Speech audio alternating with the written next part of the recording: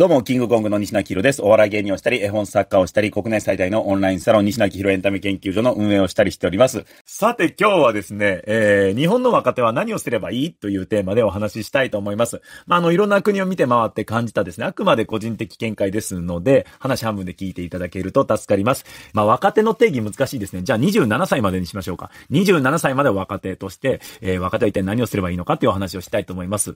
昨日ですね、えー、ミュージカル煙突町のプペルを YouTube で全編無料公開しますっていう発表したところですね、えっとね、Twitter のトレンドになったりですね、あとはまあいろんなね、えー、メディアさんが取り上げてくださって、まあいろいろざわざわしたんですよ。ほとんどの方に好意的に捉えていただいたんですけども、えっ、ー、と、一部の方からは、詐欺だっていうコメントが ありました。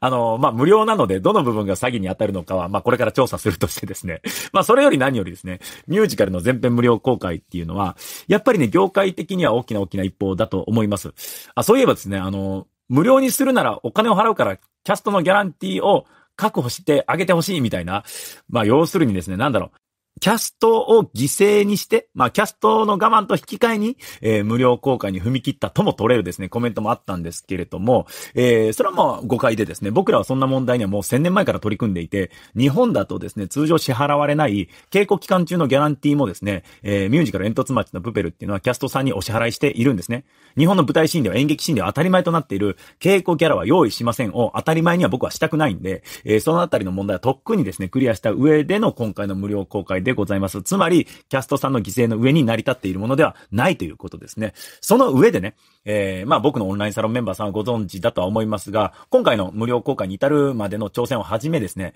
えっと、このミュージカル煙突町のプペルっていう、まあ大きな大きなプロジェクトの、全責任を背負ってチームを率いているのは、まあ、もともとはですね、うちの会社でインターンをやっていた日本人の24歳のですね、瀬戸口くんという、まあ、青年なんですね。で、今彼はですね、ニューヨークに席を移していて、ブロードウェイ公演を、あの、チムニータウン USA という会社で、えっ、ー、と、ブロードウェイ公演を目指して頑張っています。でね、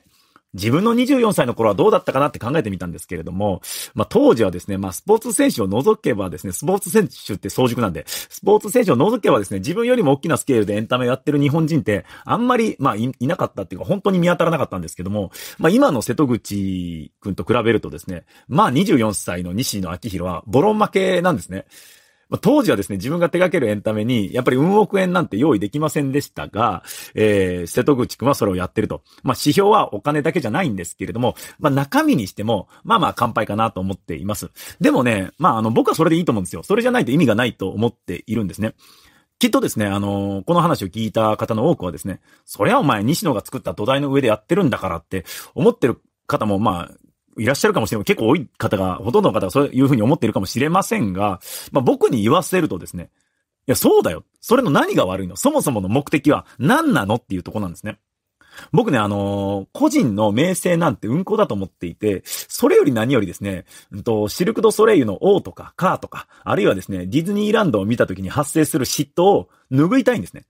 で、えー、彼らはですね、一人であのエンタメを作ったわけではなくて、バトンを繋いだ結果、あの境地にたどり着いてるわけじゃないですか。要するに、えっ、ー、と、まあ、地盤調査をした人がいて、基礎工事をした人がいて、えっ、ー、と、建てた人がいて、屋根を作った人がいて、クロスを張る人がいて、そうやって役割のバトンを、仕事のバトンを繋いで繋いで繋いで繋いで、まあ、あそこにたどり着いていると。それで言うと僕なんかは、えっ、ー、と、基礎工事をする人だと思うんですね。だから、えっ、ー、と、瀬戸口がですね、えっ、ー、と、うちに来た時にはですね、お前は基礎工事なんてしなくていいから、それ俺がやったんだから、その後しなくていいから、その次の仕事をしろと、えっ、ー、と、伝えたんです。で、その結果が、ミュージカルの無料公開であり、ブロードウェイの挑戦ですね。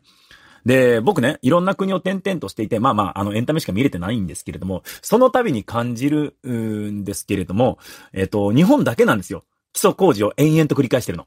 あるいは自分でクロス張りまでをやりたいから、基礎工事の面、基礎の面積がちっちゃいっていう。あの、サグラダ・ファミリアとかをイメージしていただけるとわかりますが、海外はですね、完成を見ないまま一生を終えると思って覚悟してですね、作業に当たっている人だらけなんですね。次の世代にバトンを渡すっていう前提で、えっ、ー、と、自分のした苦労はしなくていいっていう考え方なんですね。でも日本はですね、俺がした苦労をお前もしろなんですよ。当然これグローバル競争になると負けるんですよ。だって、日本は世代が入れ替わっても入れ替わっても入れ替わっても基礎工事しかしてないんだもん。でね、今日は日本の若手は何をすればいいかというテーマなので、最後にこのお話をざっくりこうまとめるとですね、今ね、えー、20代の子たちは、基礎工事が済んでいる物件を見つけて、もう基礎工事が終わっている物件を見つけて、そこにかけた方がいいと思います。まあ、要するに基礎工事なんかしなくていいんだ、あんたたちの世代はっていう。もう分かりやすいところで言うと、えっ、ー、と、継ぎ手がいない伝統工芸なんてまさにですよね。江戸切子とか分かんないけど、うん、有田焼とかさ、次手、もうつ、次の世代がいない。でも、すっごい、もういろんな、長い、でけえ文化がもう出来上がってます、みたいな。そこの基礎工事もバッチリ済んでます。あとはこれをかける DX か、なんだこれかける NFT とかそういうところをやっていくのが今の20代の仕事なのかなと思っています。大切なのはですね、一人の人生でやれることなんてたかが知れていて、バトンをつなぐことで巨大なものを作るがスタンダードになっている世界戦になると確実に負けるのに、一人で完結できるものに取り組もうとしているっていうことを自覚することだと思います。